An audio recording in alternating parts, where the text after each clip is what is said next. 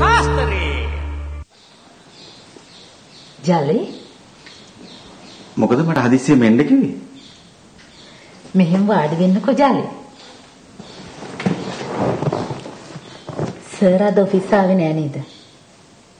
නෑ. ආවේ නෑ. මේ මම මොබයිල් එකට කෝල් එකකුත් ගත්තා පොඩි හදිස්සියකට.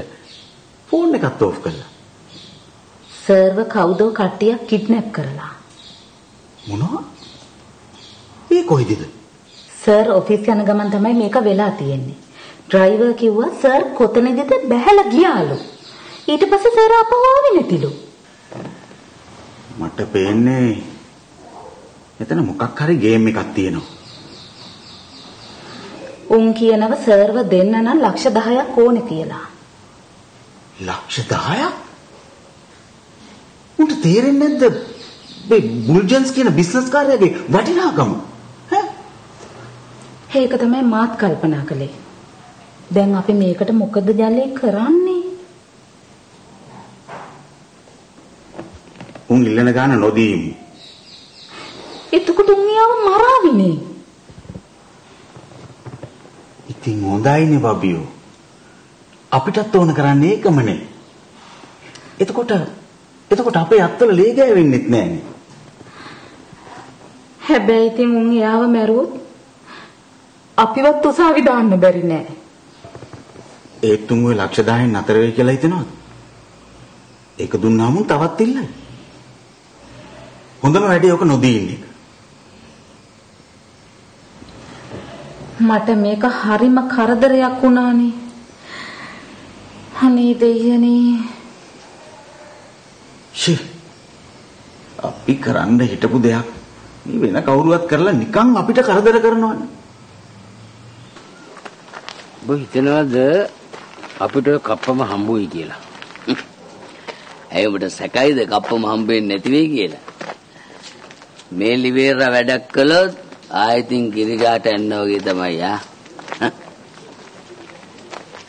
බුල්ජස් කාර්යය දැනගත්තොත් අපි මිනිහාව තියාගෙන ඉන්නේ කප්පම් ගන්න කියලා මිනිහා නිකන් ඉන්න ගන්න. දැනගන්න විදියක් නැහැනේ බං.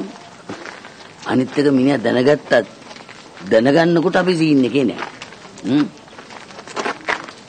අර බුල්ජස් කාර්යය ගැන දුකයි බා. දුකයි? මොකද්ද බං උඹට හැදිච්ච සන්නිය? ආ බුල්ජන් සුබේ කවුද?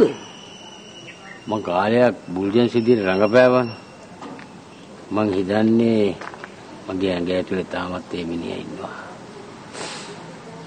ඒ මිනිහට ඒ කෑලි ආදරේ නැහැ බං. මං ඒක ඇස් දෙකින්ම දැක්කේ. පව් බුල්ජන්ස් කාර්යය.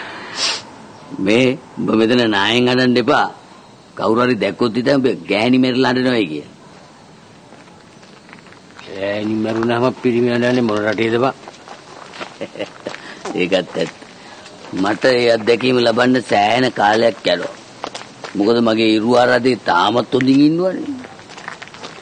මම බුල්ජන්ස් නම් ඔය ගෑනට වෙඩි තියලා ඉරේ යනවා. ඔයද අපි නොගිය තැනක් නෙවෙයිනේ. ඔය ඉරේ ඉරේ මම ඔබට කාරණයක් කියන්න හිටියේ. ඒ මොකද? මේ ගේම් එක ඉවරුනහම මම සම්පූර්ණයෙන්ම ඒවෙන් ඈත් වෙනවා. ඈ මොකද උඹ තපස් රකින්න යනවද? නෑ. මං නන්දනී නෝනෙත් එක්ක හොඳ පෞල් ජීවිතයක් ගත කරනවා. පව් බන්නන්දනී. හරිය මං පිරිමියෙක් නැතුව ඒ ගෑණි සෑහෙන කාලෙක ඉඳලා දුක් විඳිනවා. ඒ කියන්නේ උඹ දැන් හරියම පිරිමියා. ඔව්. හරියම පිරිමියෙක් මං ওই දැක්කා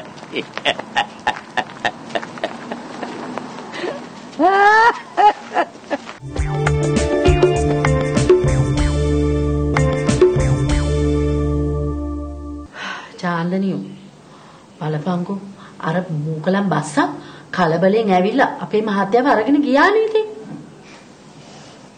ඉතින් ඔබ මොකටද උට යන්න දුන්නේ? හ්ම්. ඌක මහා කපටියා. මට වතුර එකක් ගේන්න කිව්වා. මං ගෙට ගියා අල්ල පනල්ලේ දඩබඩ ගාල මහත්තයත් එක මොන හරි කුටු කුටු ගෑවා. මෙන්න මහත්තයා අරගෙන ගිහිල්ලා. මහත්තයා කිය කිය හිටියේ කොහේවත් යන්නේ නැහැ කියලා. උඹ ඉතින් කොහොමද ලිවේර මහත්තයා සතේකට මායින් කරන්නේ නැහනේ. ඌට කේන්ති ඇති. ඒ හින්දා ඉතින් ඔය පුනර්ජය මහත්තයාත් යන යන තැන ඇදගෙන යන නැති. හ්ම්. අනේ මායින් කරන්නම මිනිහා. මොකටද මගේ කට? මං තාමත් දුක් වෙනවා. පුනර්ජීව මහත්තයාට පන්නන්න හදාපු නූල මේ මූකලම්බාස පාගල අපිට දුන්න වදයක් මතකද? යාන්තම් 2500ක් දීලා බේරුණි. ඒ වුණාට ඉතින් ලිවේර මහත්තයා හින්දා නුඹට පුනර්ජය මහත්තයාව හම්බුනේ. හැම වෙලාවෙම ඉතින් මුලාමත කරනවනේ හරි ඉක්මනට. හා මොකද බං උඹට වෙලා තියෙන්නේ? දැන් ඔය තරම් ඔය සුද්ධවන්තේ කතා කරන්නේ ලිවේර උඹේ කවුද? කොට? අනේ මගේ නම් කවුරුවත් නෙවෙයි.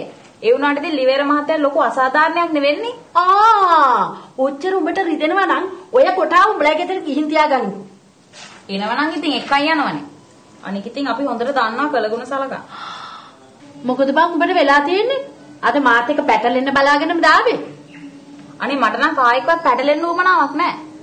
ඒ වුණාට ඉතින් අසාධාරණයක් දැක්කම කට පියාගෙන බලන් ඉන්න බෑනේ. චාන්දනි මට ඇත්ත කියපන්. උඹ මොකද මේ කවදාවත් නැතුව මාත් එක්ක එකටක කියාගෙන ඉන්නේ? ආ උඹ එදා මගෙන් ගත්ත 2500 දුන්නත් තාම. මොන 2500ද? ඇයි ලිවේර මහත්තයා එලවන්න ගත්ත රුපියල් 2500? හා අයියෝ මට දැන්නේ බා මතක් වුණේ. උඹ මේ ඒකයි මේ මාත් එක්ක මේ තරම්ම මේ පැටලෙන්න ආවේ නේද? අනේ සෝරි බා. මං ඒක ඔබට දෙන්නම්. හ්ම්? විලාසිනී මාව මිනිමරයක් කරන්න තේනවා එනවා එළියට ඔව් මේ විජේසිරි මහත්තයානේ විජේසිරි මහත්තයා වාඩි වෙන්න වාඩි වෙන්න ඕනේ නැහැ. කෝ විලාසිනී? ආ විලාසිනේ ඉන්නවා. වාඩි වෙන්නකෝ. විලාසිනියෝ විලාසිනියෝ මේ විජේසිරි මහත්තයා ඇවිල්ලා. මේ මෙහාට එන්න. මේ අම්මේ ඔව් ඔය අපි මොනවා කියනවද? නෑ නෑ නෑ. එන්නකෝ. එන්නකෝ. මේ විලාසිනී මගේ ජීවිතෙත් එක්ක සෙල්ලම් කරන්න හදන්නේ. මම මම කාදවත් ජීවිතත් එක්ක සෙල්ලම් කරන්න ආවේ නැහැ. ඇයි දෙන්නේ මට මගේ පාඩුවේ නොදුන්න නම් ඉවරයිනේ. පාඩුවේ මමත් මගේ පාඩුවේ තමයි හිටියේ විශ්වවිද්‍යාල කැන්ටින් එකට ආවට පස්සේ බොරු මායන් දාලා මාව කොටු කරගත්තා අනේ අම්මේ කියන කතා අම්මේ ඉස්සරහ කියන කතාවද මේ? විලාසිනී ලෑම එහෙම කතා කරාට මට සමා වෙන්න ඕන. මෙයා මේ කතා කරන විලාසෙට තමයි මට එහෙම කියන්න හිතුනේ. අනේ ඉතින් ඕවා වැඩි දුර දිග ගෙනියන්නේ නැතුව ඉතින් කොටින් ඕවා ඉතින් අහවරක් කරගත්තා නම් ඉවරයිනේ ඈ? පොටේ පොටින් අහවර කරගන්න පුළුවන්. මෙයාට එන්න කියන්න මාත් එක්ක යන්න. එහෙම නැත්තම් මම දිගාරිනවා මෙයාගේ ඔක්කොම පැටිකිලි දිගාරිනවා. අනේ ඉතින් අම්මේ බලන්නකෝ අම්මේ මේ විජේසිරි මහත්තයා කතා කරන විදිහ.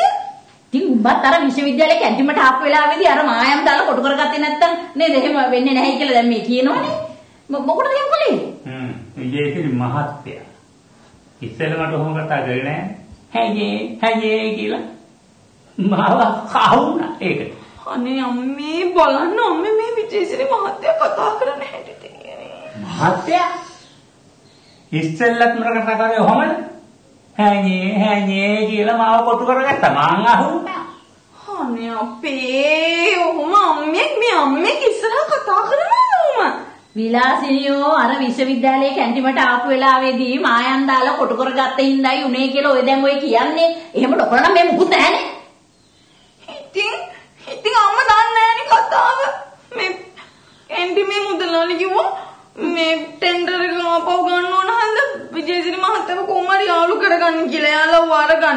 ඉතින් මම මුදලාලිට උදව් කරන්න කියලා තමයි මේ මොනේ. ඊට පස්සේ රටේ හැමෝගෙම මම කතා අහන්න ගත්තා. මම ඒ විලාසිනියෝ විලාසිනියෝ අනේ මේ මහත්තයා දැන් මොන හරි කරගත්තොත් ඔය ඇහුවෙනවා දැන් ඒක යන්න විකාර මෙතනින් මේ විලාසිනියෝ නැරෙයිද නැහැ. මට පොලිටි ගාන යන්නත් තියෙනවා.